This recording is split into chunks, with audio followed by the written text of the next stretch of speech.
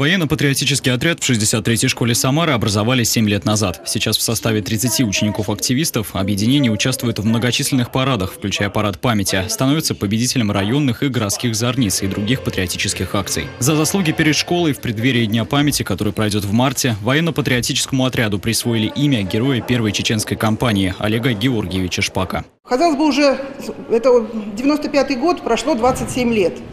Да, и он не намного старше теперешних членов этого отряда, 17-18 лет, но уже своим именем, своим подвигом он внес многое в историю нашей страны. 22-летний гвардии лейтенант Олег Шпак с 1995 года принимал участие в Первой Чеченской войне. Был командиром блокпоста под селением Комсомольское. Военнослужащий погиб во время операции по сопровождению колонны с миротворческой миссией. Транспорт, на котором передвигались бойцы, подорвали. Олег Шпак был похоронен на городском кладбище Самары. О подвигах героя во время защиты рубежей Родины помнят по сей день. Военнослужащему посвятили мемориал, который открылся в 63-й школе. Это очень почетно для учеников, потому что это, конечно же, и патриотическое воспитание, это история о том человеке, будет жива постоянно, и все э, те сильные стороны его, которые были э, в нем, они должны трансформироваться уже, конечно же, в этих э, членов этого отряда. Помимо военно-патриотического отряда в учебном учреждении действует и юноармейское объединение. Состоять в нем – это особая честь и ответственность, отмечают учащиеся. Многие ребята даже после выпуска из школы не остаются в стране от событий жизни юнармии.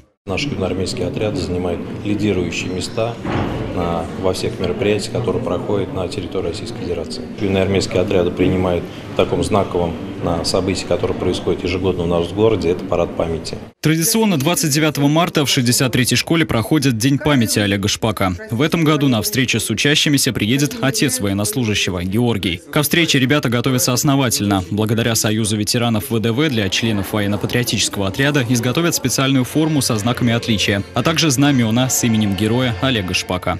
Михаил Ермоленко, Николай Сидоров. События.